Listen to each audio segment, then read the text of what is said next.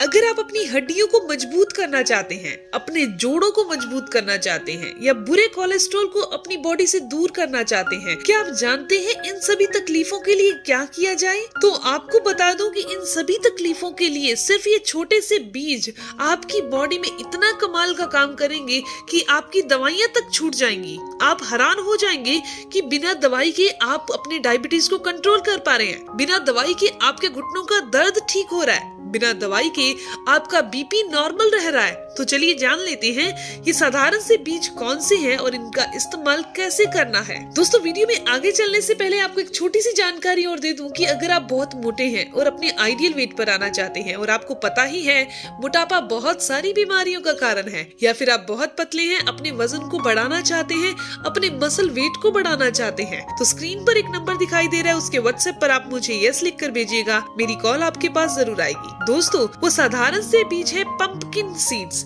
यानी कि कद्दू के बीज। कद्दू ही खाने में बहुत फ़ायदेमंद है। आपको सच में ऐसे लगेगा कि ये हम खाते क्यों नहीं है? दोस्तों, जो पंपकिन होता है, जिसे कद्दू कहा जाता है, ये अगर लीवर पेशेंट है कोई, जिसको फैटी लीवर की समस्या रहती है, लीवर अच्छे से काम नहीं कर रहा, लीवर सोराइसिस हो चुका है, और लगातार एक महीना अगर वो पेठे का सेवन कर ले पंपकिन खाना शुरू कर दे, सब्ज़ी के अंदर या वैसे भी उबाल कर तो उसका फैटी लीवर बिना दवाई के ठीक हो जाएगा।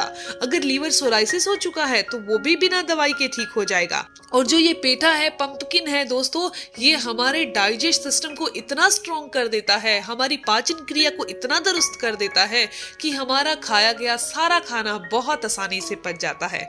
लेकिन लोग इसे स्वाद के द्वारा खाना नहीं चाहते, क्योंकि इसका स्वाद बहुत अच्छा नहीं होता। लेकिन बहुत बुरा भी नहीं होता, आप इसे तड़का लगाकर खा सकते हैं, आप इसकी सूप बनाकर पी सकते हैं। लेकिन आज मैं आपको इसके बताने वाली हूँ कि इनकी अगर आप बीज रोज़ाना खाते हैं तो आपको क्या फ़ायदे होते हैं? दोस्तों, इसके अंदर भरपूर मात्रा में पोषक तत्व पाए जाते हैं। इसके रोज़ाना सेवन से बहुत सारी तकलीफें, बहुत सारी बीमारियाँ दूर हो जाती हैं। अगर आपका इम्यून सिस्टम बहुत कमज़ोर हो चुका है, आपको सर्दी, खांसी बहुत जल्दी हो जाती है तो इस पंपकिन सीड के अंदर जिंक पाया जाता है। और जिंक क्या काम करता है, क्या आप जानते हैं?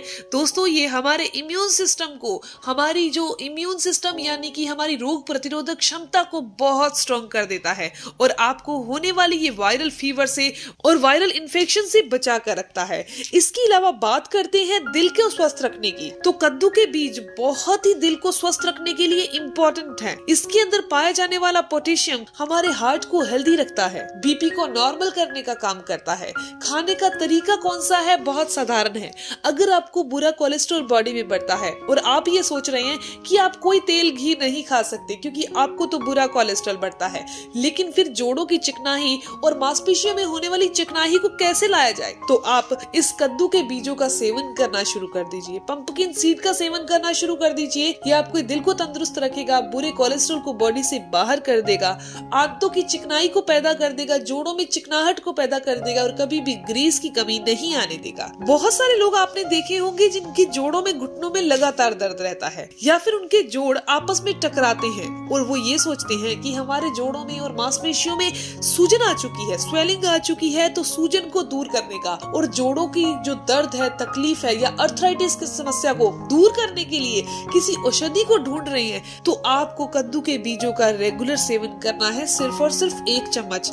किस साधारण से तरीके से किया जाए कि आपको इसके फ़ायदे और ज़्यादा मिले तो आपको ये सारी जानकारी मैं दे दूँगी। दोस्तों, इसके अलावा अगर आपका ब्लड शुगर नियंत्रित नहीं रहता कंट्रोल में नहीं रहता और ब्लड शुगर को कंट्रोल करना है तो फाइबर लेना ज़रूरी है। फाइबर और ऐसा खाना जिसका ग्लाइसेमिक इंडेक्स काफ़ी कम हो तो आप ब्लड शुगर को बहुत ही आसानी से कंट्रोल कर देते हैं। तो ये दोनों की दोनों चीज़ें पंपकिन सीड के अंदर पाई जाती हैं। पंपकिन सीड हमारी बॉडी के अंदर जाकर ग्लाइसेमिक इंडेक्स को कम कर देता है, इसके अलावा हमारी बॉडी के अंदर ब्लड शुगर लेवल को कंट्रोल में कर देता है और फाइबर की मात्रा को बॉडी में बढ़ा देता है, जिससे पेट भी अच्छे से साफ़ होने लगता है। अगर आपको अच्छे से नींद नहीं आती, आपको बहुत ज़्यादा स्ट्रेस रहता है, आप बहुत ज़्यादा तनाव में रहते हैं। और ये सोच रहे हैं कि क्या इसके लिए रोज़ाना कोई दवाई खाना सही है?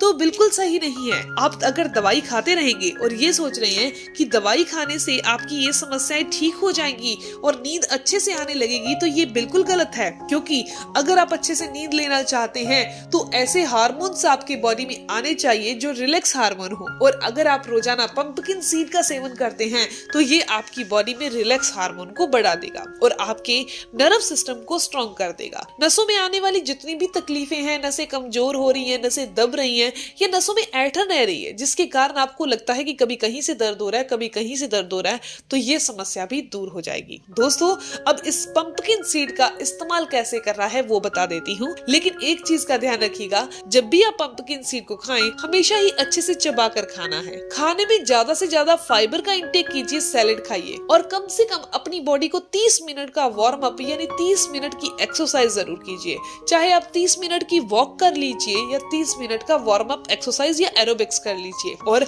एक चीज़ का और ध्यान रखिए कि आपने जब भी पानी पीना है, गुनगुना पीना है और अपने वज़न के अकॉर्डिंग पीना है। यानी कि अगर आपका वज़न साठ किलो है तो आपके लिए तीन लीटर पानी पीना ज़रूरी है। अगर आपका अस्सी किलो वज़न है तो आपके लिए चार लीटर पानी पीना ज़रूरी है। पंपकिन सीड का इस्तेमाल कैसे किया जाए कि इसके फ़ायदे ज़्यादा मिले? तो आपने एक चम्मच पंपकिन सीड रात को भिगो देने हैं। इसके अंदर आपने एक अखरोट डाल देना है भिगोते टाइम और सुबह उठकर ये पंपकिन सीड जो भिगे हुए हैं वो और अखरोट, इन दोनों ही दोनों चीज़ों को अच्छे से चबा कर खा लेना है और ऊपर से अलग से गुनगुना पानी करना है और उसे पी लेना है। इस तरीके से अगर आपने रोज़ाना किया तो जो आपको मैंने तकलीफें बताई हैं जोड़ों में होने वाला दर्द या हार्ट प्रॉब्लम या बुरा कोलेस्ट्रॉल या बैड या फिर ब्लड शुगर की समस्या या नींद ना आने की समस्याएँ ये सभी दूर हो जाएँगी। यकीन मानिए, मेरे कहे तरीके से अगर आपने 20 से 25 दिन सेवन कर लिया तो आपकी बहुत सारी तकलीफें दूर हो जाएँगी। दोस्तों, ये जानकारी, ये इन्फॉर्मेशन यही तक थी। मैं उम्मीद करती हूँ कि, आशा करती हूँ कि जानकारी आपके लिए फ़ायदेमंद होगी।